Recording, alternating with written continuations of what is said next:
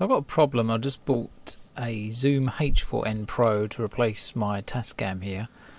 Um, when I took the SD card out of the Tascam and put it in the H4n Pro, it was moaning that the card was locked. So here's the card unlocked going into the Tascam DR40.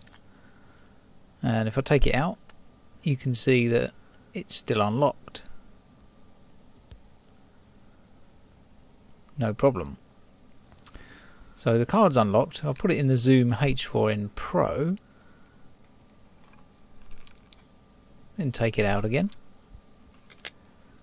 Magically, the card is locked. So every time I put it into the H4n Pro, it locks the card. And the H4n Pro just says on the screen, card write protected or something like that. So I've tried a few different ways of putting it in. Um, seeing the Tascam again, still unlocked, no problem.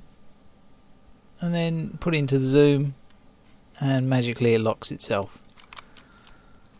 So I don't know what I can do really. I don't know if this is a fault with my zoom or whether I can. I might just try gluing the uh, lock position in unlocked and uh, see what that does. But uh, I don't know if this is a problem with my Zoom H4n Pro or what, but uh, who knows?